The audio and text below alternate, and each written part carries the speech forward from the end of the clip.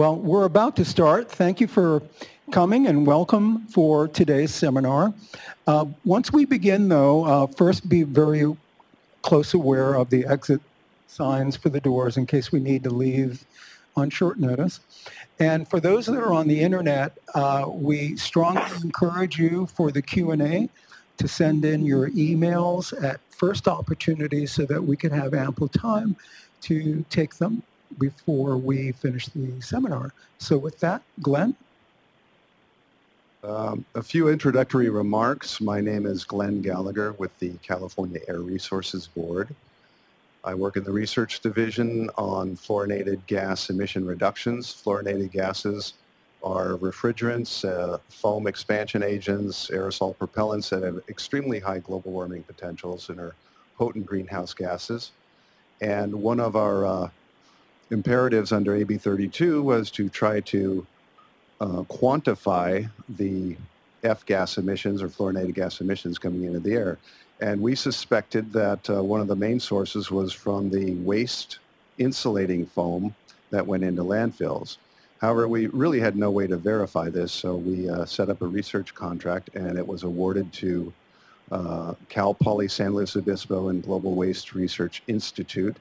And so today we have with us uh, Dr. Nazli Yesiller of the Global Waste Research Institute, Dr. Jim Hanson, uh, professor with Cal Poly San Luis Obispo, and also on the phone, uh, they were ably assisted by Dr. Jean Bogner of the University of Illinois at Chicago, one of the world's preeminent uh, landfill emissions scientists, along with our extremely knowledgeable professors that will uh, tell us what they found when they measured fluorinated gas emissions from uh, a typical California landfill. With that, I'll uh, let you begin. Thank you for being here. Thank you, Glenn. I'm Nazli Yesiller. I will be presenting most of this material, and Jim Hanson, my co-PI, may interject here and there to add uh, some perspectives as needed, and also he'll assist with answering questions as well. And as Glenn indicated, we have Dr. Jean Bogner on the phone as well, and she might be answering some questions at the end as well. Our research team included multiple persons. The PIs are already listed, myself, Dr. Hanson, and Dr. Bogner. We had additional senior personnel, Dr. Don Blake from UC Irvine, Drs. Tracy Thatcher and Yarrow Nelson from Cal Poly, we had research associates, uh, Mr. Derek Manheim and Dr. El Badawi from Cal Poly, Dr. Mainardi from UC Irvine. The main graduate student on the investigation was Alex Son from Cal Poly, and we were assisted by a team of graduate and undergraduate students, especially in the uh, field testing portion of the program. It's my pleasure to provide our results and um, overview of the investigation today. I'll first like to start with acknowledging Waste Connections Incorporated and the staff at Potrero Hills overall for providing us access to the site for our field investigation portion and also with their assistance during all phases of the field analysis. I'd like to also acknowledge the assistance provided by our project manager, Glenn Gallagher. He was very effective in providing constructive comments throughout the investigation period. For introduction, as Glenn mentioned, emissions of various landfill gases are of interest to ARB as these can have high global warming potential. This study was conducted in particular to provide a detailed assessment of emissions of potent greenhouse gases from waste from insulation in landfills. The target gases in the investigation were hydrofluoro hydrochlorofluorocarbons, also termed F-gases, and specifically we had four selected chemicals in the investigation, CFC-11, HCFC-134A, HFC, I'm sorry, HCFC-141B, HFC-134A, and HFC-245FA. These chemicals are used as blowing agents in rigid foam insulation materials. And these rigid foam insulation materials are used in a variety of applications, including building insulation, appliances, transportation units, and a variety of marine applications. These target gases represented historical replacement practices for these types of chemicals for BAs used in, again, rigid foam insulation. This was a three-phase, three-part investigation. We started with a literature review, moved to a materials flow analysis, and also conducted an extensive field testing program. Our literature review included basic information on properties and behavior of foam products and blowing agents in the foam products. This includes physical, chemical, mechanical, and thermal properties. We also looked at the types and applications of these materials and also the end-of-life management practices for foam products.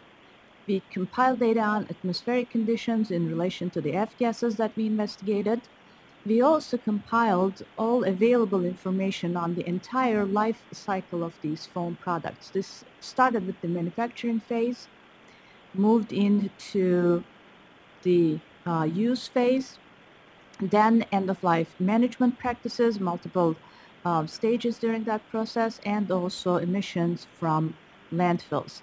We gathered data and analysis available in the literature that related to both experimental and field investigations as well as modeling studies. We also investigated measurement of landfill gas emissions in general in detail as well. And overall, we determined that very limited data was available on emissions of F-gases, very little from the U.S., and um, also on um, large-scale field studies. So that was a major finding of the literature review section. I'll move to the material flow analysis next. And in this case, we conducted a California-specific analysis.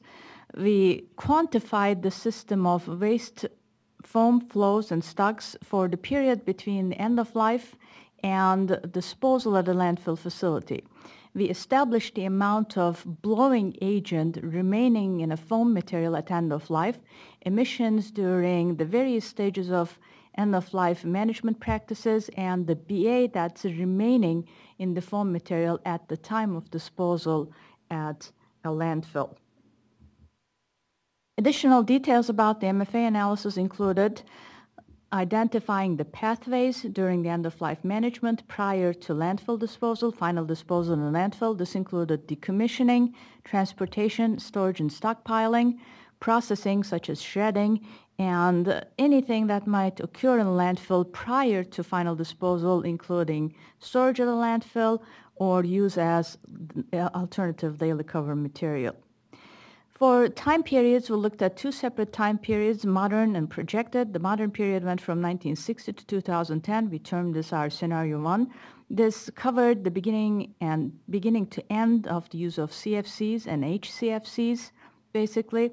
The projected time period started in 1995 and lasted through 2050, and we termed the scenario two and covered the end of the use of CFCs and the start of use of HCFCs and continuing into the modern time or the projected time HFCs. We looked at waste foam materials coming from five different applications. This included construction and demolition wastes. This included waste, domestic appliances, refrigerators and freezers were the big category here. We looked at commercial appliances as well. Those are also refrigerators and freezers and a few additional materials uh, transport refrigerated units, TRUs, as well as marine and other applications.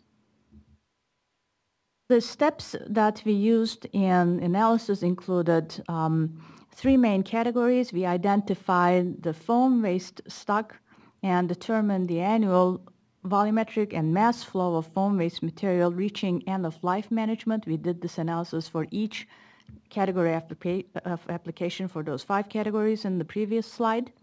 We also identified the end-of-life management pathways for each of these five applications. And finally, we evaluated BA emissions during each step of this um, analysis for each application.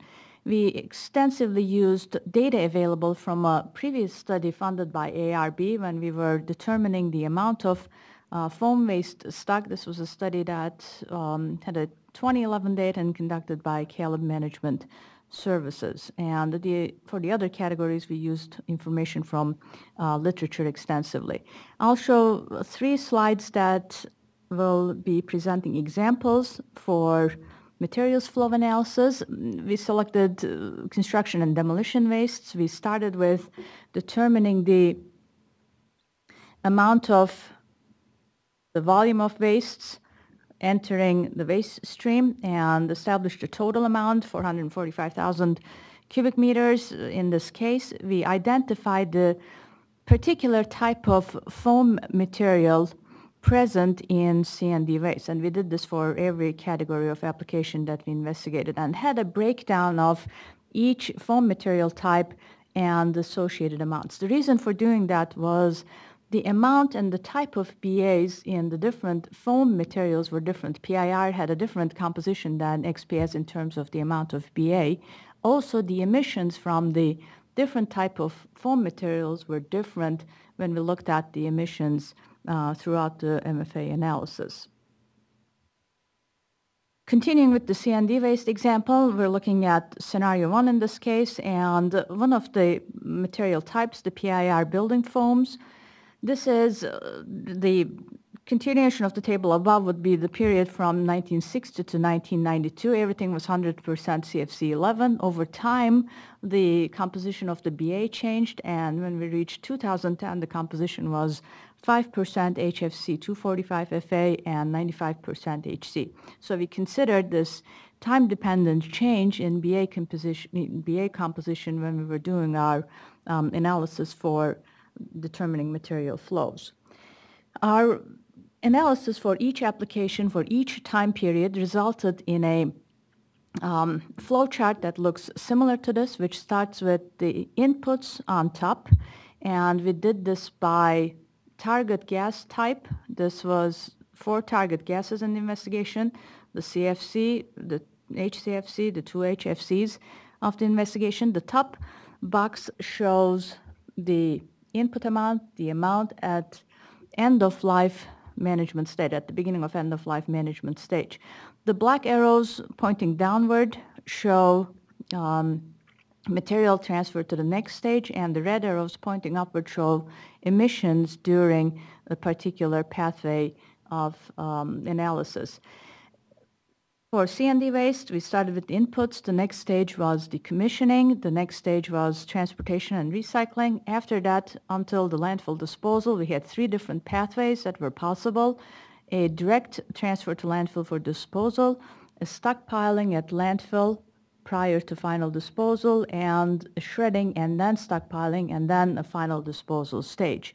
At the end, at the box at the very bottom of this slide, we still see the four gases for chemicals identified, the amounts associated with those, and in parentheses, the percentage amount remaining in the foam material with regard to the beginning input. So in this case, for C&D wastes, we were looking at 92% of the initial BAs retained in the material and disposed of at the landfill. So emissions along the way were relatively low for C&D wastes. For the other waste categories, actually, the emissions were somewhat lower, but for this particular case, again, the emissions were um, relatively low, and 92% of BAs ended up in the landfill.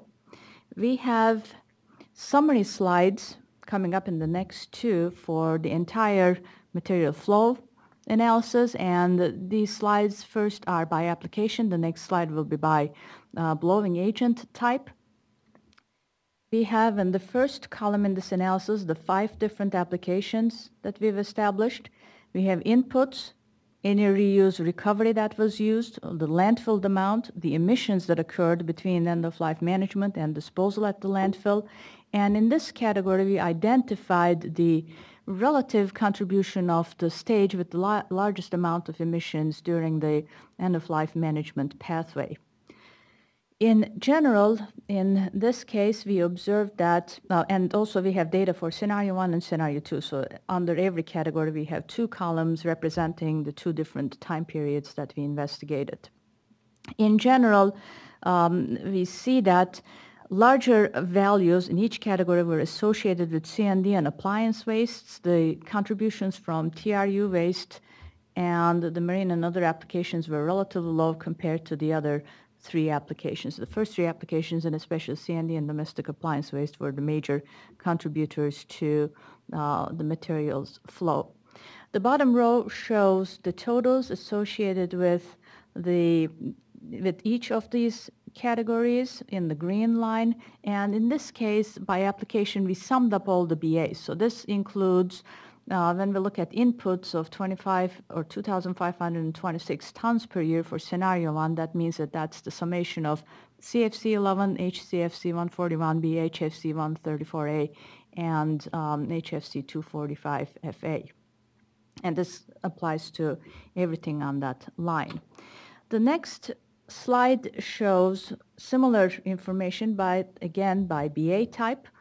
In this case, instead of the application, in the first column, we have the four BAs listed. And again, we have the same additional columns, inputs, any re reuse recovery, landfill amounts, emissions, and we decided to look at the contribution of shredding since in the previous slide, maybe I didn't mention that, we identified that decommissioning contributed the, last, the most to emissions for CND waste, but for all other waste categories, shredding was the big contributor to emissions along the way before final landfill disposal. So on the next slide, we decided to look at uh, the shredding contribution in terms of percentage in a little bit more detail um, than in the previous slide. The bottom row in this slide is the, exactly the same as the previous slide since the totals are the same. It's just a different presentation. In this case, we're looking at BA types rather than um, by application. For scenario one, the highest values were, as expected, associated with CFC 11. There was a lot of it in that time period. When we moved to scenario two, when we started things in 1995, there was hardly any CFC 11 left anymore, and we were mostly dealing with HFC 245 FA. So our analysis again captured the time difference, the time change in um, BA types. We also looked at the relative amount of landfilled BAs in comparison to what we started with. So we took a ratio of the total landfilled amount of BAs for scenario one with respect to the total input in scenario one. And this amounted to 64% when we did the same exercise for scenario two. We ended up with, oops, excuse me, um, a ratio of 49%. In case of emissions along the way, we determined that uh, emissions of BAs prior to landfill disposal was 13% for scenario one and slightly different at 14% for scenario two with respect to the initial inputs. The remainder of the presentation, I will basically be talking about our field investigation, which was rather extensive and um, took probably most of our time in the, in the study.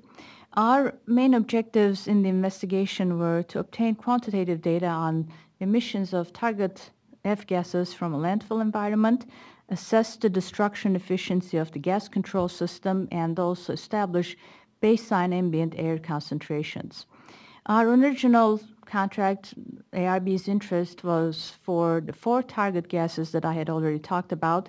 The analytical testing that was conducted by UC Irvine routinely included additional F gases as well as some other gases also. So we decided to include these in our analysis also. So instead of the four F gases, we ended up analyzing 12 F gases with the additional eight that are shown over here. I will be showing data for both the four target gases and the additional gases throughout this presentation, but I will focus mostly on the um, target F gases. The additional details are in our, in our final report.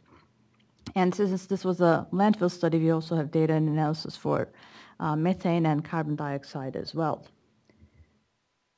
The F gases that we investigated are listed here with chemical names, structural formula, and principal use and principal current substitute as I had mentioned earlier, uh, this, uh, the selection of the F-gases represented historical replacement trends. We have compounds already phased out under the Montreal Protocol up top. Those are the CFCs.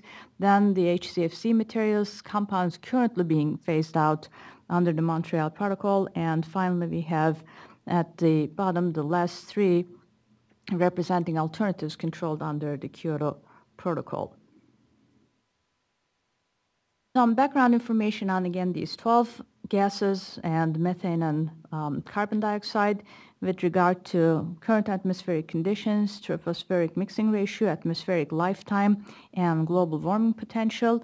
Uh, Dr. Bogner prepared this um, table using latest data available from IPCC 2013 dataset, as well as some additional um, references. And if you look at this for global warming potential, carbon dioxide is at 1, methane is 28 times that, and the F gases that we're interested in are at very high levels, and that's the main concern here, even though the emissions of these gases may be relatively low because of this high global warming potential issue. Uh, we wanted to understand whether if this was a significant problem or not. We conducted our investigation at Potrero Hills landfill, which is located in Northern California. It's a landfill located in a temperate climate zone, has a um, dry and hot summer climate classification. It's uh, located in an area with an average daily air temperature on the order of 16 degrees Celsius. For 2013 and 2014, the average rainfall was 1.27 millimeters per day which amounted to an average of about 470 millimeters per year. This is a class 3 facility that has been operational since 1987. They receive different types of waste materials that includes residential waste, commercial waste, C&D wastes, industrial waste, agricultural waste, green waste, and a variety of different types of special wastes. The disposal I will show a map in just a moment. And if we can keep the questions to the end, please. Thank you. The disposal area, again, at the site is 138 acres. Um, the volume in place at the time, hectares, I'm sorry, uh, at the time of our investigation was 19 million cubic meters. The average daily waste intake at the facility is on the order of 3,000 tons, and the waste intake in 2013 was on the order of 920,000 tons, which was about 3% of the uh, waste generation in California, if we converted it to California values. The site was selected due to a number of reasons. We had uh, medium-high disposal capacity, substantial amount of C&D waste that was on the order of 16% um, for the last several years, uh, based on their site records. They were using a high amount of alternative daily cover materials, including both green waste, C&D wastes, and auto fluff. Um, there was presence of appliance waste at the site. They were accepting appliance wastes. There were different cover types and waste with different ages present at the site. There was an operational landfill gas management system and uh, very importantly, high level of cooperation and assistance from the site management and staff. And identification of a site and uh, working with a site may appear straightforward, but that's it's actually a rather complicated process, and we ended up starting the field portion a little bit later than the next season than what we had originally intended because of uh, some changes in direction, changes in site selection, and uh, we're, we're very happy at the end because of the um, high cooperation that was provided, cooperation and support provided by the Potrero Hills site. This is now the location of the site. It's almost halfway between Sacramento and San Francisco. It's in Suisun City, close to Vacaville. That's the uh, location of the site. We designed our uh, field testing program to obtain data from all cover types at the landfill facility, which included the daily cover, interim cover and final cover to assess the effects of cover type and cover condition on emissions. We also targeted locations um, with wastes of varying ages that are present underneath the different cover types that we tested. So we wanted to see waste age effects on emissions as well. And finally, we did testing in different seasons to investigate effects of climatic conditions on emissions. Our field test programs, most of our time and effort was spent on emissions testing, of course, and included the use of static flux chamber method for determining um, the emissions. We also established the ambient air concentration using the static flux chamber method. The first reading provided us the ambient air concentration. And for destruction efficiency, we sampled the upstream and downstream of the gas from the gas flare, the main metal management system that they were using. We conducted additional tests also which included subsurface gas sampling, temperature of the cover systems, uh, density of the covers using sand cone, and we sampled the cover materials for further classification analysis in the laboratory using a variety of geotechnical analysis techniques. Here's an image of the um, static flux chambers that we used. We selected these to obtain direct measurement of emissions and use very large chambers for this investigation. Typically, these are uh, much smaller devices. Um, we went with the one meter by one meter area and uh, 30 centimeter deep or high chambers. We did four chamber tests at a given location for statistical significance. So we repeated our tests. We have data for, from multiple uh, chambers at a given location. Starting with the deployment of the chambers, these were made of um, stainless steel, so they were relatively difficult to move around.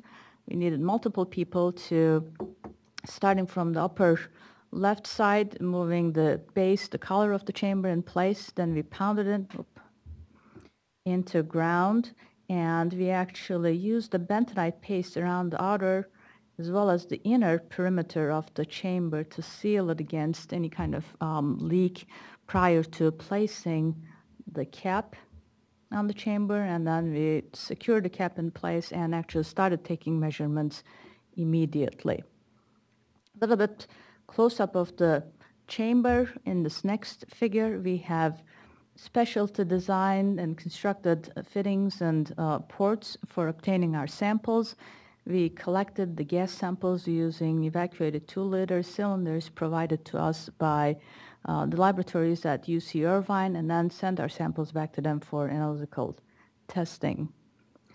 We conducted our gas flare testing um, by collecting samples from the inflow raw gas intake to the flare system and we sent Dr. Thatcher up to the top of the flare to collect a downstream gas sample from a location near a sampling port near the top of the flare. It was mid-height.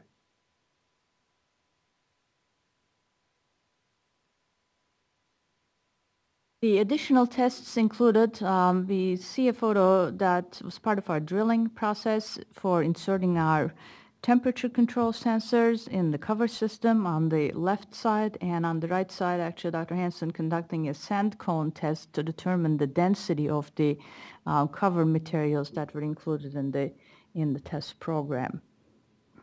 For laboratory analysis, um, we have some pictures of um, some of the tests that we did. Sieve analysis we used to identify particle size distribution. We determined the specific gravity of the materials. We wanted to establish all phase relations for our cover soils or cover materials. We used standard equipment for the soil materials. We had to use some specialized equipment for the larger size particle uh, daily cover materials. And finally, pictures of hydrometer and Atterberg limits analysis that we used to determine um, the size fraction and plasticity characteristics of the fine portions in, a, in our cover soils. Additional details about um, our field testing. I will go over some information related to locations, cover types, waste ages, and season analysis in the upcoming several slides. For our um, field testing locations, we conducted our testing at a total of seven locations. This included three daily cover locations, three interim cover locations, and one final cover location.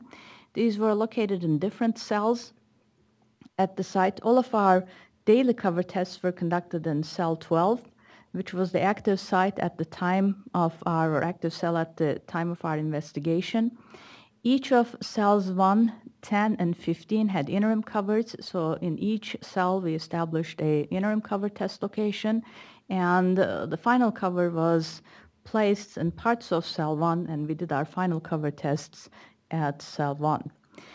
In each location, we deployed, again, four um, chambers. So in a given season, we had a total of 28 deployments. In two seasons, we did our testing in wet and dry season. We ended up with 56 deployments of the chambers for the project and overall collected, including some soil samples, gas flare, you know, raw gas, and etc., nearly 300 gas samples overall for analysis. The cover profiles at the different locations that we investigated, the top three figures or sketches represent the daily cover locations. The bottom three are intermediate covers, and the one on the right side is the profile for our final cover. For daily covers, we had three different materials. AF stands for auto fluff. GW is the green waste. ED is an extended daily cover, a material that was left in place not as long as the interim covers, but longer than the daily covers and had a little thicker profile and consisted of a soil material. The intermediate covers in cells 1, 10, and 15 overall were um, the, the IC1 was an entirely fine-grained soil, a high plasticity clay material. The other two were um, classified as coarse-grained materials but had appreciable amounts of clay in them as well. And finally, the, fi the final cover location, the soil was very similar to the intermediate cover location, and on the surface had some gravel in it, but below that, underneath that, was basically the fat clay or the uh, high plasticity clay throughout. In terms of thicknesses, the daily covers were relatively thin, the intermediate covers were thicker, and finally the highest thickness was associated with the uh, final cover material an image of some of the loose materials, um, starting with the top left corner. Here is the autofluff, a mixture of uh, different sized particles, the final cover material, two examples of the green waste during the dry season and the wet season, the extended daily cover, the clayey material, which had a lot of gravel in it, and finally the um, high plasticity clay material, which was the uh, interim cover material.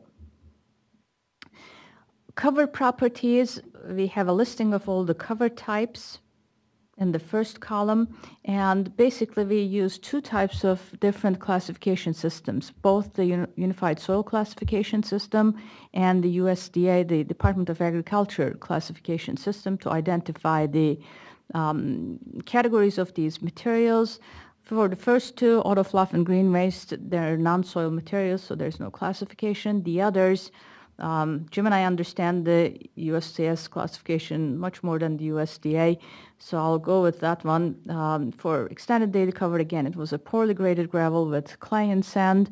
The IC1 was a fat clay, a high plasticity clay. IC10 and 15 were clayey sand with gravel, and finally the Final cover was also a fat clay near the surface had gravel, but didn't have the gravel um, as we went down into the ground with depth. Additional information on cover properties. This is a lot of, um, again, geotechnical information. We determined the specific gravity. Uh, we measured moist density. We were able to calculate dry density. We determined water content, degree of saturation, S, and porosity and void ratio of these samples. Two things to look at here is in the wet season, the water content and the degree of saturation are much higher than is expected, the values associated with the dry season measurements. And in some cases, some of the materials were very stiff and dense. The extended daily cover was probably a surprise in that regard. The kind of density that we measured for that is really extraordinary, I think, for a field application. We also have uh, information on the waste ages. This is looking at the seven different locations and the height of the waste, the depth of the waste underneath the measurement location and also the age of waste. We classified based on data that we obtained from historical site records. We looked at a lot of uh, topographic maps going as far back as possible and identified four ranges of ages associated with our um, waste materials, 0 to 4-year-old waste, 4 to 14-year-old waste, and 14 to 29-year-old waste. And at each measurement location, starting with the left side on top, auto fluff, underneath auto fluff there was approximately 54 meters of waste. The top 12 meters of this waste had an age of approximately 0 to 4 years, and below that the waste age is on the order of 4 to 14 years. We did this exercise for each location in our analysis and tried to use this information for, again, making correlations to uh, waste age and, or correlations between waste age and emissions. A summary slide which shows, again, the three different types of daily covers, the interim covers, the three different types of interim covers, and the final cover, the materials, and the ages associated with those materials in the analysis. And these are based on everything else provided so far. For seasonal testing, we repeated our tests in the wet and the dry season. The wet season corresponded to uh, measurements that we conducted in multiple trips between February and a April 2014. And the dry season was, all of our testing was done in August 12, 2014. You can see the difference in the site conditions by looking at the pictures, the vegetation. Our very first testing date on site was the stop um, figure in February 2014. Uh, it was the day of the deluge. It felt like the entire 470 millimeters of rain fell on the site during that day and was one of probably the toughest um, field days of investigation that we ever conducted. For analytical testing, um, our Data analysis was conducted at UC Irvine Rowland-Blake Laboratories. This is a photo showing multiple gas chromatographers. It actually represents only a very small portion of the capabilities and the laboratory down there. It's an extensive facility with um, a very large um, scale operation able to test numerous samples at a given time and able to detect chemicals to very low levels, and that was the main reason why we wanted to work with their laboratory. For the chemicals that we investigated, the 12 F gases, the limit of detection was on the range of parts per trillion for every case. I'll move to now how we analyzed our emissions data to determine surface flux. Um, we obtained concentrations at the end of the analytical investigation of our gas samples. We converted the um, concentration to flux using the slopes of the concentration versus time plots that we obtained and uh, used the initial chamber measurement at time zero to establish the ambient concentrations at the landfill surface. I will go over some example plots in the next few slides. The concentration versus time data looked something like this. In each chamber, we started taking measurements at time zero and continued to take measurements over a time period. And that time period ranged from, um, I think the lowest was about 60 minutes. 60 to 150. 60 to 150, so from one hour to two and a half hours. And we had multiple points um, for the concentration versus time data. We started by fitting linear lines to the data that we obtained, to the entire data set that we obtained in the testing program. In this case, we have the diamonds representing the original data set. And in this case, we have one, two, three, four, five measurements. It's a 60-minute test. And R-square value was 0.87. We determined that we wanted to use R-square values that were above 0.9. So we decided to take one point off from the end and recalculated the slope of the line and in this case ended up with an R-square value of 0.99. We did this exercise as necessary for our fire data sets and removed one or two data points from the end until we reached an R-square value above 0.9. If, in some cases, if this did not happen, we actually um, disregarded that data set and did not use it in our final uh, presentations. This occurred, the cases where we couldn't reach R square 0.9 were generally associated with cases where we had very low concentrations. So it did not occur when we had appreciable amounts of flow, but in cases where we had very, very low flow, we sometimes had difficulty, again, um, establishing a slope for this relationship. We calculated the destruction efficiency of the flare system by looking at the inflow and outflow, incoming and outgoing um, concentrations by looking at the difference of those with regard to what's coming in and multiplying it with 100.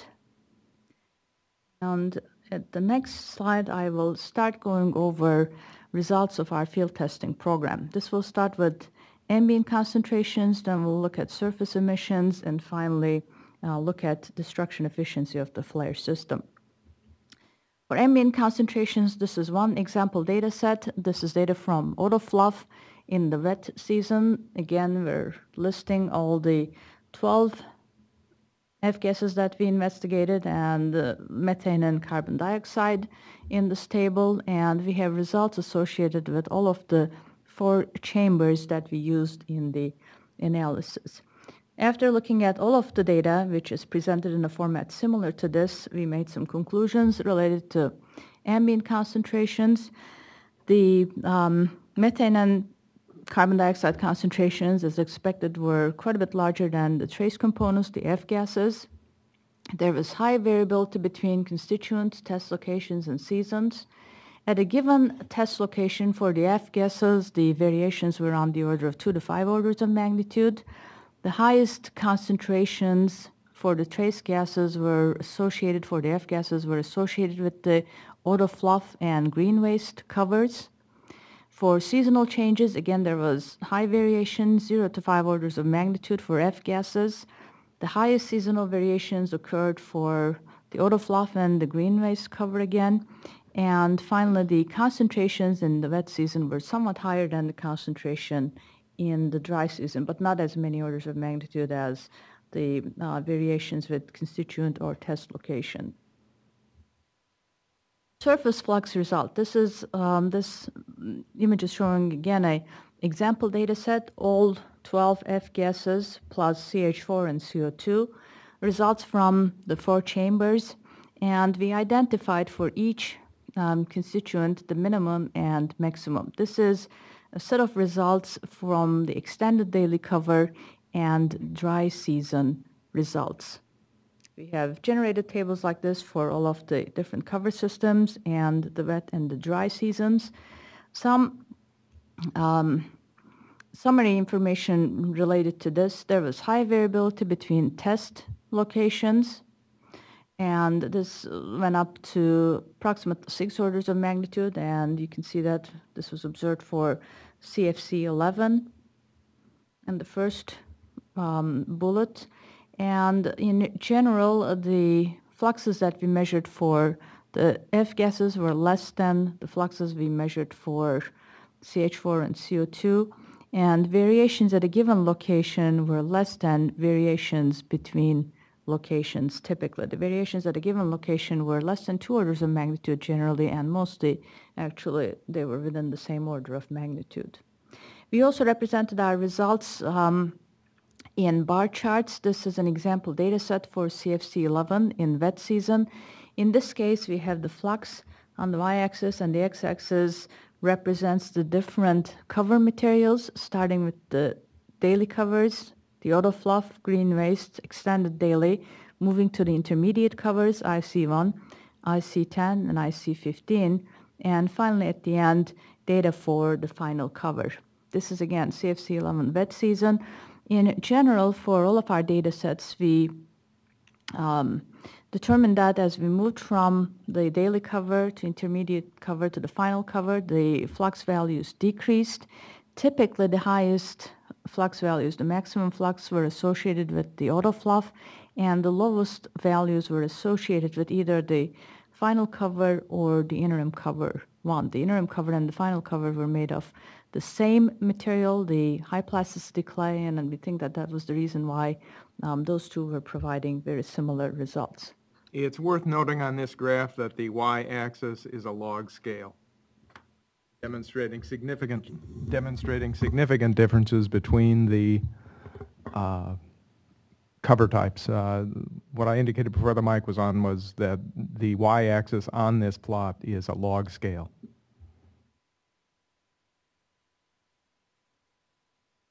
Some summary comments related to the uh, measured flux values. This is now a table showing the um, covered material type in the first column and the four target gases in the next set of columns and minimum and maximum values for each um, of the target gases.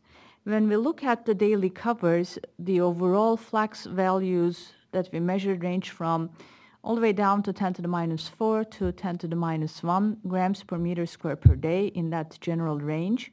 When we moved to the next round of materials, the interim covers, the range was on the order of 10 to the minus 7 to 10 to the minus 4 grams per meter square per day. And finally, when we looked at the final cover data, uh, the only measurements that we could get were on this 10 to the minus 7 order. We had some below detection limit measurements and some of this inconclusive data, the data set that didn't meet the R square above 0.9 criteria, which again was associated with very, very low concentrations. A summary of the cover factors that affected flux. Emissions decreased with the order as we moved from daily to intermediate to final covers, from high to moderate to low permeability covers, and also from low thickness to moderate thickness to high thickness covers. So there was significant effect of the cover material on the measured emissions.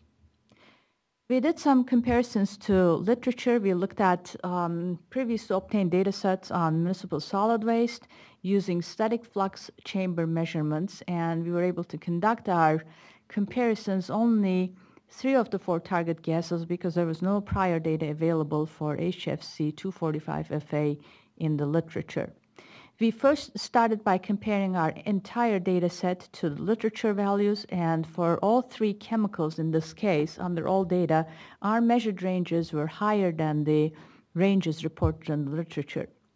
Then we looked at the literature a little bit more carefully and realized that there was nothing reported from daily covers. Everything was mm, coming from either interim covers or final covers. So we excluded our uh, higher values that were associated with daily covers and looked at the comparisons again and uh, realized that the CFC11, our measured ranges were about one order of magnitude lower than what was reported in literature. For HCFC 141B, the measured ranges were about the same, and for F HFC 134FA, 134A, our range was up to two orders of magnitude higher than what was reported in the literature.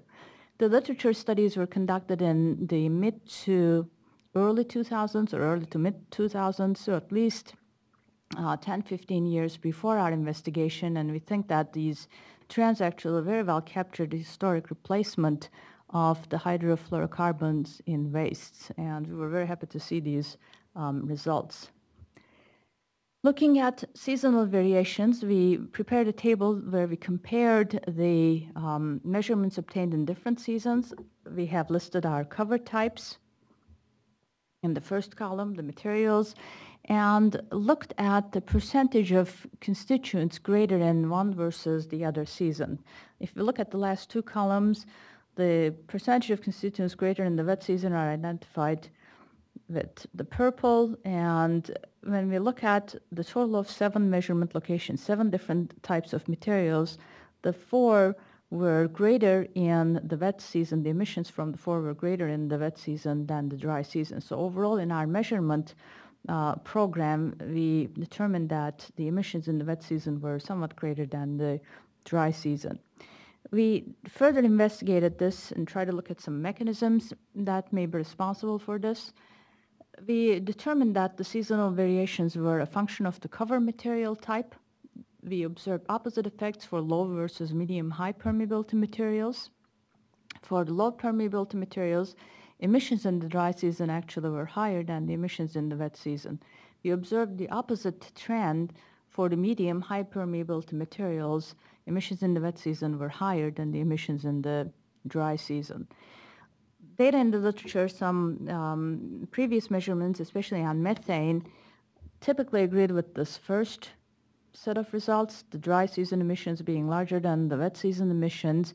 But again, uh, most data available in the literature is from lower permeability materials and not much available from daily covers and such. And I think that's the reason why um, we were seeing these differences due to the permeability of the materials as well as some other characteristics. For the low permeability materials, we think that the combined high degree of saturation and the high flow path tortuosity occluded pores, small amount of interconnected pores resulted in relatively low emissions in the wet season.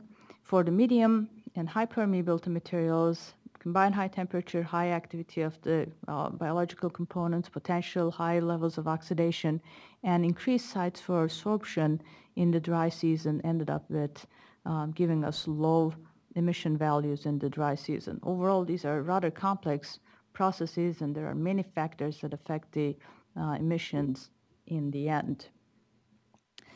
Finally, the last um, set of tests before going into the flare system uh, destruction efficiency is uh, the emissions with waste age. We're looking at a plot of um, waste age on the x-axis and flux on the y-axis.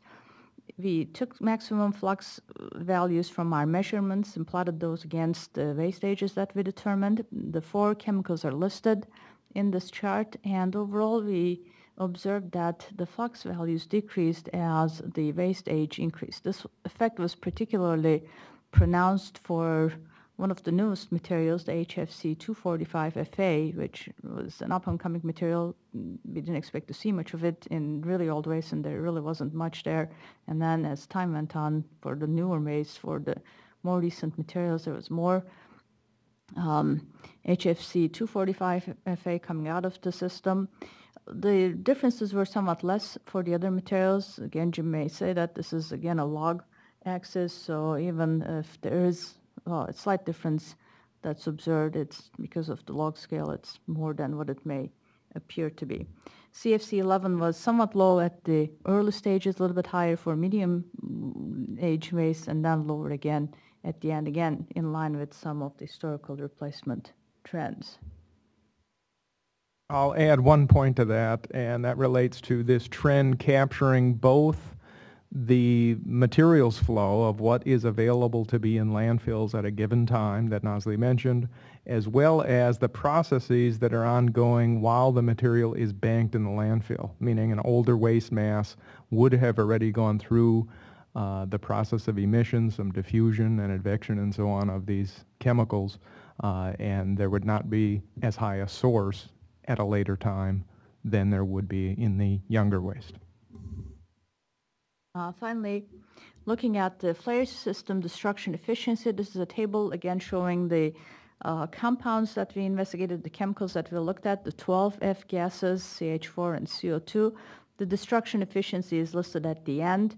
And for all of these gases, the destruction efficiency was above 99.47%, for the four target F gases, uh, the flare system efficiency was above 99.88%. So the system was very effective in um, destroying, destructing the um, chemicals collected in the landfill gas at the site. The last set of um, slides that I will be going through that relates to our investigation, the field investigation, relate to what we call the scaled emissions. We went through a three-step process to uh, expand the data that we obtained to the entire site. We looked at minimum and maximum emissions for each gas and scaled those for the entire site using the relative aerial proportions of the cover types. At the time of our investigation, daily covers approximately were over 3% of the site. We divided this equally between the three different daily cover materials. The intermediate covers occupied about 84% of the site. Again, we divided this equally between the three different intermediate covers. And the final cover was over uh, approximately 13% of the site we determined or we converted area-specific emissions in grams per meter square per day to total emissions using the molecular masses of the chemicals and the relative areas occupied by the different cover components and provided estimates for CO2 equivalent emissions for the entire site. The maximum emissions were on average about an order of magnitude or so higher than the uh, minimum emissions and that the CO2 equivalent total emissions were higher by one order of magnitude in the dry than the wet season. And overall, when we looked at the F gases alone, the emissions of uh, CFC-11 were quite a bit higher than the emissions of the other F gases. Overall, the magnitude and relative contributions of the F gas emissions were exacerbated when we did this conversion to CO2 equivalents rather than um, leaving the gases as they are. A set of results associated with this analysis will be showing up in the next um, several slides. We have the chemicals listed in the first column and the surface emissions minimum and maximum values associated with those in the next columns. We have the total F-gas emissions, the total surface emissions, and we have two sets of tables for this. Um, this first table was what we included in the draft uh, report, and we actually made a little bit of change and uh, generated new tables by excluding the CO2, only concentrating on CH4 and the other gases as well. We, when we look at everything uh, for the wet season, the relative contributions of the F gases for minimum emissions were on the order of 23%, for maximum emissions were about 5%. When we excluded the CO2, the contribution of the F gases for the minimum uh, measurements were on the order of 75%, on the order of 6% for maximum emissions. When we did this, the same analysis, oh, when we, I'm sorry, did the analysis for total emissions for um, the dry season with the CO2 in place, we had contributions of 0.3 and 1.3% for minimum and maximum emissions. For the dry season without CO2, the contributions were on the order of 0.4 to 1.7%, again, minimum and maximum emissions. And when we looked at total emissions, we combined the data from dry and wet seasons by looking at how much of the site was experiencing dry conditions in a given year versus wet conditions. The overall annual contributions with CO2 in place was on the order of 4 and 3.3% for minimum and maximum emissions. And when we took the CO2 out, it was about 5.6 and 4.2%. Last two slides for making some conclusions from our investigation. Overall, we determined that there was very limited data in literature on emissions of F gases from landfills. Uh, there was absolutely no data on HFC uh, 245FA and limited data for the other gases. In the material flow analysis, we determined that most of the BAs in the foams at end of life remained in the foams at time of disposal at the site. The emissions were quite a bit less than uh, 50%. A lot of the, again, BA present at the time of end of life was remaining in the material at time of landfill disposal. Our field testing program was very extensive in terms of determining F-gas emissions from a landfill system. The measured ambient air concentrations were in the 10 to the 4 to 10 to the 5 uh, parts per trillion range for the F gases that we measured.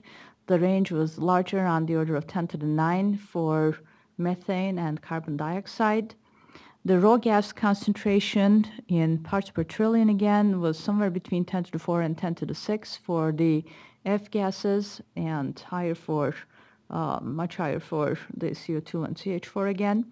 The destruction efficiency for the four target gases were over 99.88%. The emissions were overall highly variable throughout the site, and uh, they were generally higher through the daily covers than the intermediate and final covers. The emissions decreased with decreasing hydraulic conductivity or permeability and increasing cover thickness and the seasonal differences in emissions varied by cover type. It was a complex process and influenced directly by the cover type. Some implications and directions for future research. Well, again, the emissions were highly determined to be highly variable due to different cover conditions, underlying race conditions, age and depth, and seasonal variations. The overall contribution of gases to total greenhouse gas emissions from the landfills, in our case, varied with season and potentially could be significant. Some of the measurements for the uh, low end of emissions when we took the CO2 out were relatively significant. And emissions of F-gas are expected to vary also by landfill location, including the effects of both climatic conditions and potential operational conditions. Also with time to account for further changes in the waste stream as these chemicals evolve and different types of um, BAs and other types of things are used in uh, foam formulations. And we in general think that data from other landfills and in particular data from, this is again a point that we didn't have in the draft report, alternative or evapotranspirative covers are important to obtain.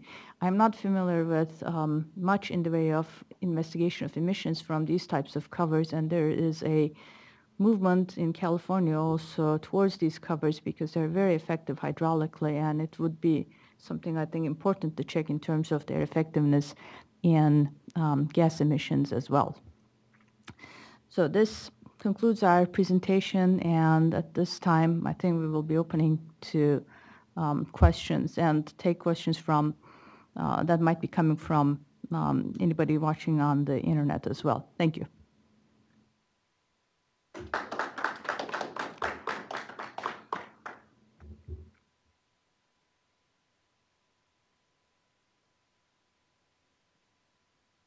Thank you, uh, Nazli and Jim, for that for that presentation. It's uh, you did some great work there, and and you know, the Air Resources Board is really really grateful for all of your research and findings, and we think this is going to have some some pretty meaningful uh, implications for our policy as we go forward on our, our uh, fluorinated gas emissions reductions.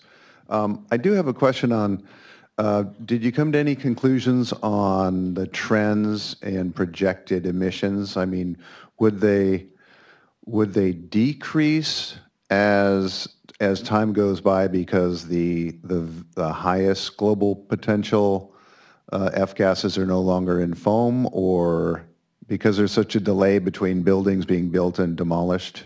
Do you think it might increase in the near future? Um, I think we will still be getting significant amount of emissions for um, extended periods of time because of, as you indicated, relatively long lifetimes of a number of the components that contribute to the emissions, especially buildings. Appliances have shorter lifetimes, but buildings have relatively long lifetimes. So I think there will still be um, a lot of CFC 11 or other types of CFCs coming into the system because of uh, the trying to go back to the slide which had um, the relative uh, percentages or relative global warming potentials, but I'm, I'm I don't know where this. I think it's a little further back. It was at the beginning of uh, here it is. So um, some of the materials, the replacement materials that are at the bottom here have lower global warming potential values, but these are still not really close to one. They're still fairly high. And I, as I said, I think there will still be um, a lot of materials coming in from um, especially buildings that will continue to contribute to um, the levels that will, I think, potentially stay at about where we're at and maybe transition more towards the later materials. Again, the, the comparison to literature was, I think, very interesting in terms of how our values compared to measurements from 10, 15 years ago. And perhaps in another 10, 15 years, um, the HFCs will be even further along than what the levels are now and less in way of CFC 11 and some of the HCFCs. But again, it's, it's hard to say. I'll add one point to that uh, related to potential long-term processes in these banked materials. And this would relate both to those materials in service as well as those that are in the landfill system, which we determined through that MFA were significant in terms of quantity. And there could be a breakdown of the structure of these foams with time, therefore higher amounts of diffusion with time through these materials uh, that could come at certain threshold periods. I'm not that familiar with the product, the structure of these. I'm coming from a soil perspective. But from the foam perspective, I think there's an integrity of the material itself at play here. And all that bank material will be emitted at some time in the future. It's likely not going to stay there forever. So uh, it's just a matter of waiting for that to happen, and possibly there could be some thresholds where it would actually come out in relatively large quantities when there's a suitable breakdown of the structure of the foam.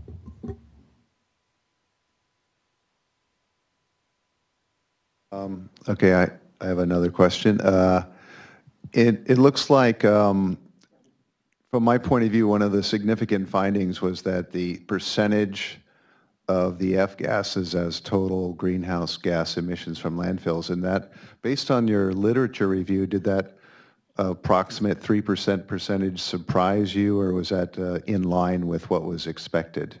Was it higher, lower? Was it? uh, The, this relates to the carbon CO2 equivalent or? Yeah, the CO2 equivalent Um, specifically. We did not compare the CO2 equivalents to anything in the literature. I don't know if they have converted anything, and I'm not sure if we have sufficient information to do exact comparisons because we need to know the relative proportions of the uh, areas occupied by the different cover systems that were tested, and we did not look at the literature in that detail to see if they had reported um, the, again, relative amounts of the different cover systems to be able to conduct an analysis similar to, to what we did.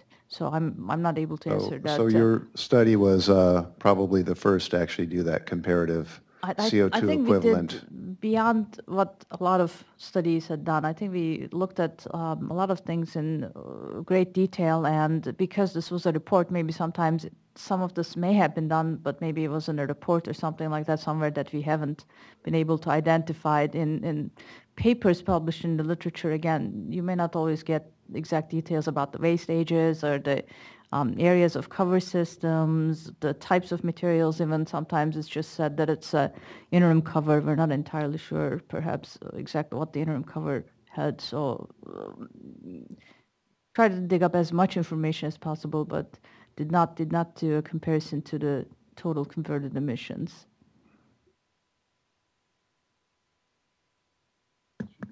Yeah, this is Chuck White. I'm a private consultant. I I have have a couple questions. Um, I, you said that there's a potential for release of these F gases, but the numbers seem to be, indicate that it's relatively small, at least compared with the methane concentrations. And so I can't, it was about 10% or thereabouts. Uh, I think that's. Most of the time, yes. Yeah, exactly. Yes. So, um, and I guess my question is then, do you consider that to be a signif, potentially significant, or is it significant, or it could be significant?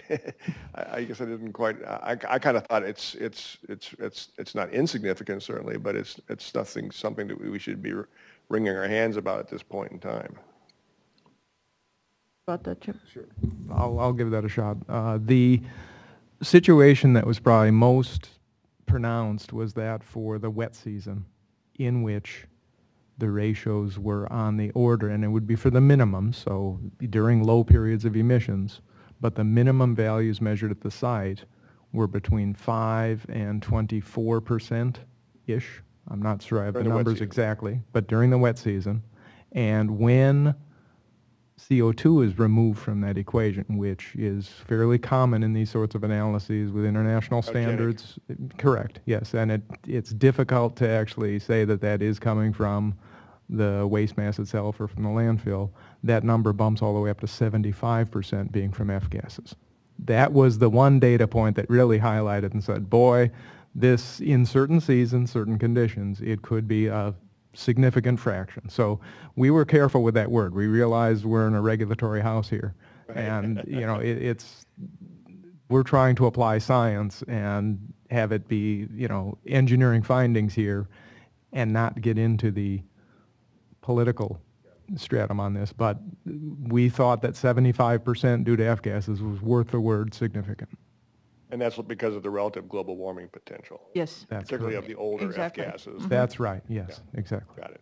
And um, in terms of managing these kinds of foams, uh, it seems to me you have basically three options. You either dispose of it in the landfills you evaluated, or you combust it in some kind of incineration device, and, or you break it down and try to recycle the foams.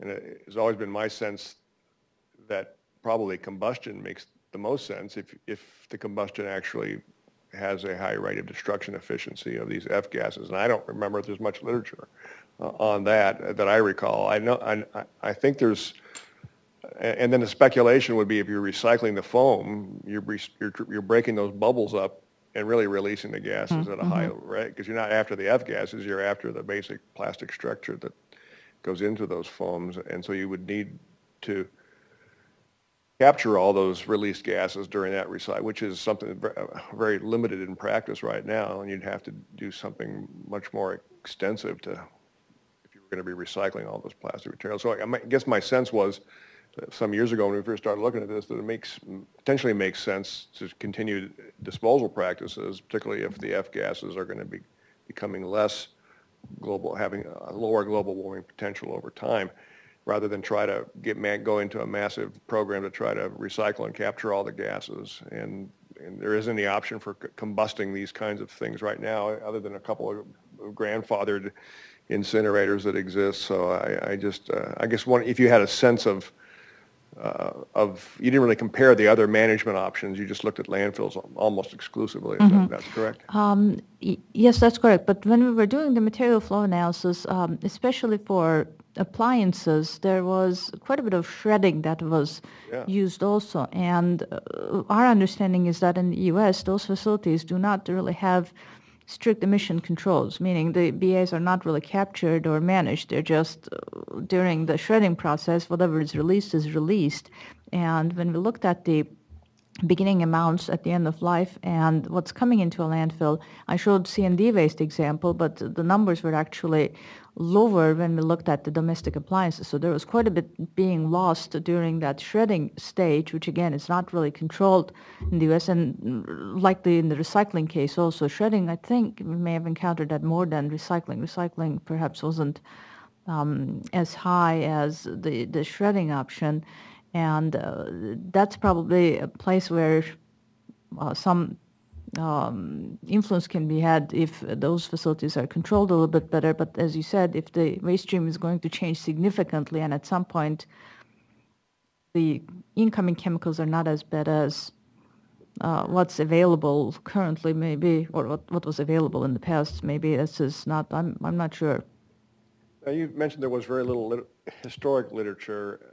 Uh, When this whole thing got started about three or four years ago, I remember doing, getting a bunch of, maybe five or six studies that were done by, I think, Swedish researchers. uh, Danish.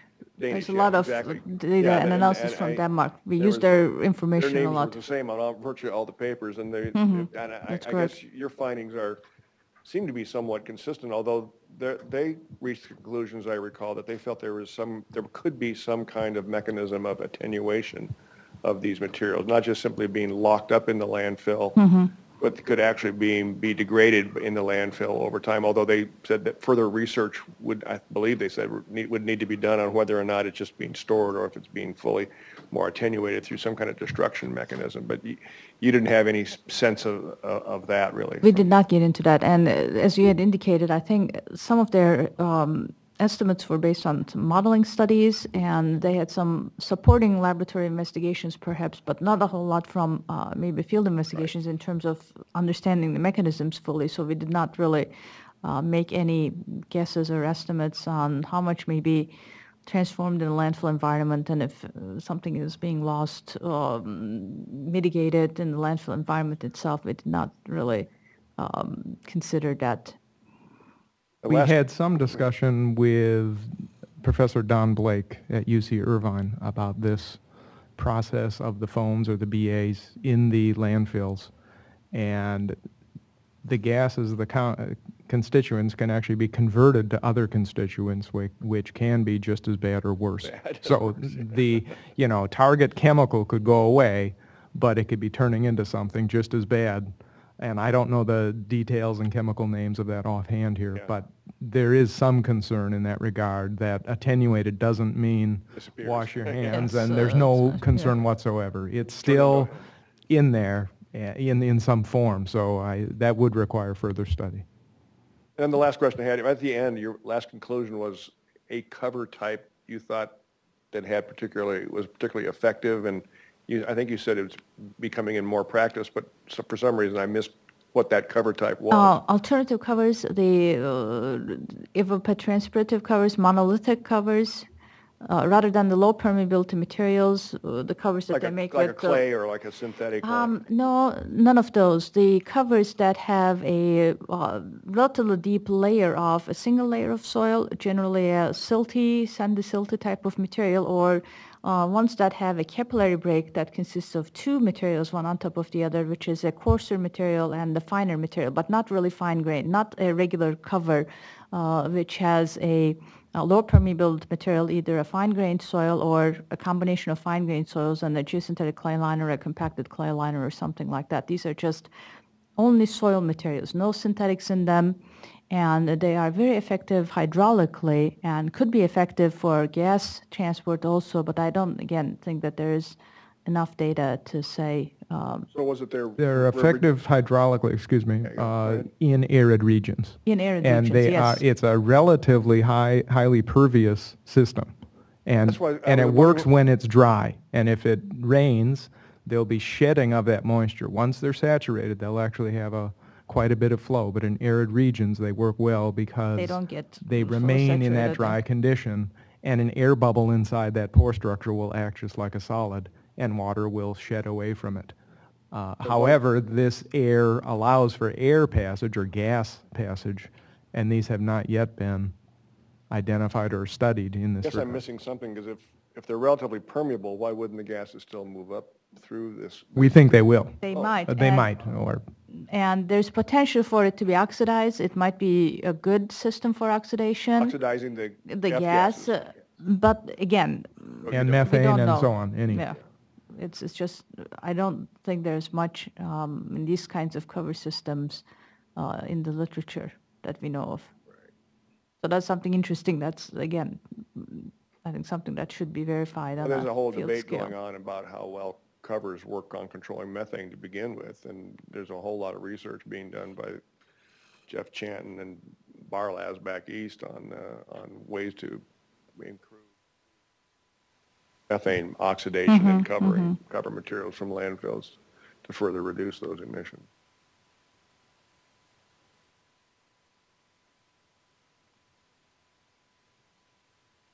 We have uh, an emailed uh, question. There are two questions. I'll just read them and let uh, Nazli or or Jim answer them. Uh, First question, how representative would you expect the emission rate results to be relative to landfills located in different climate conditions, for instance, to more temperate climates in the eastern United States? And the second question is, what effect does the presence of the gas collection combustion system have on fugitive emission rates in comparison to a landfill without such a collection control system? So, The first part, the effects of um, climatic conditions, I guess this was one of our recommendations. I think some more studies needed to be able to um, provide a definitive answer to this part of the question. Um, I think there will be differences as the temperatures change, as the moisture conditions in the cover systems change. So it's, I think we would expect to see um, differences in different climatic regions. These results would apply to, I think, landfills located in similar regions with similar um, operational conditions, but I don't think that they would necessarily apply 100% to landfills in different climatic regions, and that's something that can be verified, proved or disproved with, I think, further testing and uh, further extensive testing in other climatic regions. I would add to that that Nazli and I have personally worked on uh, thermal aspects of landfills for about 18 years now, and uh, we have determined that most all landfill processes are a function of temperature and therefore would be a function of climate conditions as well. And we've identified deeper than just temperature that precipitation has a major impact on landfill behavior. And I'll just leave it at that, of many processes being impacted uh, without getting into details. And the second part of the question, Jim, do you want to address that? And I actually wanted to give perhaps Jean some time also to say a few things, and maybe she can um, join in with this one also. I'd say we did not have a control site and variable site in the case to compare directly gas collection combustion systems to others. Uh, this would get at an age-old question of collection efficiency of systems. And uh, I think that still remains a question mark. Uh, and also, I think for California, uh, there isn't much waste uh, disposed of, and in current conditions elsewhere also in systems without gas collection systems. So I think um, emissions from a landfill without a gas collection system may be applicable to something an old site, a closed site, something like that. But again, under current conditions, I don't think um, there is much in the way of um, facilities without gas collection. And again, we did not test um, a facility that did not have a gas collection system. And um, if Jean is still on, still online, I actually wanted to ask her in our last few minutes to see if she had any additional comments and also if she wants to say anything um, about this part of the uh, discussion. Uh, yes, I'm still on. Can you hear me? Yes. Yes. Okay.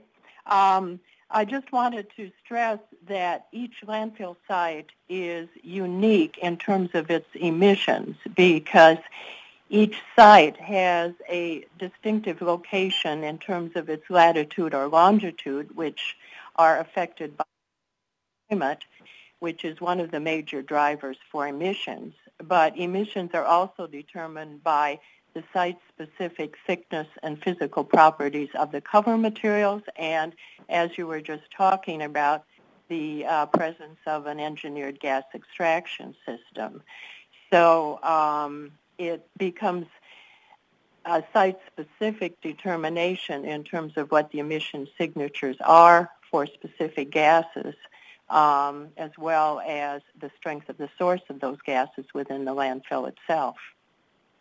And there are a lot of things we don't know about the high global warming potential gases in terms of their landfill behavior under the anaerobic conditions in the landfill. Um, there might be chemical degradation reactions. There can be sorption. Um, there's a whole host of processes which haven't even really been um, thought about as yet. It's complicated. Thank, Thank you, Jean.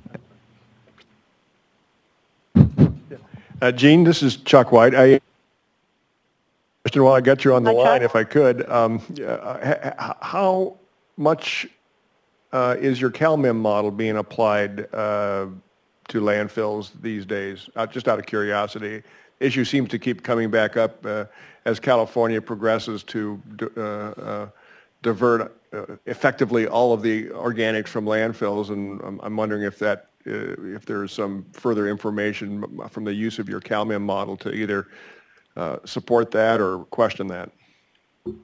Well, we published a California-specific study last year, Right. um, which you may which you may know about, Yes. where um, we actually redid the California inventory for all of the uh, California sites using a nice CalRecycle's database and um, compared that with data kindly supplied by uh, Air Resources Board to using the current inventory, which is based on the uh, methane uh, generation model contained in the IPCC 2006 uh, National Greenhouse Gas Inventory Guidelines based on a first order decay model for methane generation. Um, so that information is out there. We also compared uh, within that same paper uh, to measured emissions at 10 California landfill sites in addition to the two sites we worked extensively at, at during the development of the CalMIM model. And uh, it's um, we also then uh, finished an international field validation of the CalMIM model using uh, 40 different cover materials from uh, 29 different sites on six different continents. So um, the, the final reports are done. The papers are coming out. Um, and I, my sense is that it's being used probably more in a research sense than in an inventory sense. Um, but uh, at the end of the day, it is a, a very simple model with a about a 10-minute learning curve, so it can be readily applied to inventory as well. Right. Okay, good. Well, I may follow up with you further on that separately. Thank you. Sure. And, and uh, we have uh, an emailed question that's coming in. So I'll uh, read the question.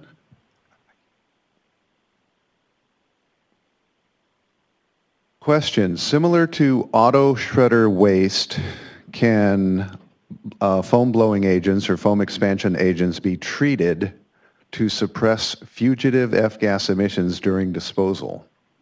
Can, can you treat them to suppress? Um, interesting question. I'm not sure. um, Chemically, I'm not certain of the details. That'd be outside my expertise. I just think about a system physically, you could encapsulate it in some regard uh, and have, you know, a bubble buried in the landfill or something like that, that or certain disposal areas that are uh, devoted to this sort of thing uh, as an option. Right, yes. Uh, very flexible, durable bubble.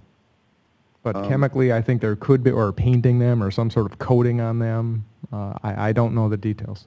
Nice angle though. Uh, This is Glenn Gallagher from Air Resources Board. I've just uh, probably, um, my thoughts on this are you, you, it would be very difficult to actually treat the F-gases, but what you can do in a highly emissive source, such as a refrigerator, freezer, insulation, what you can cut it off in slabs instead of, instead of grinding up the entire appliance, which is actually done in uh, the comprehensive appliance recycling facilities in the state. So you cut off using a handsaw slabs, and then you would either landfill the entire slab or you can incinerate it.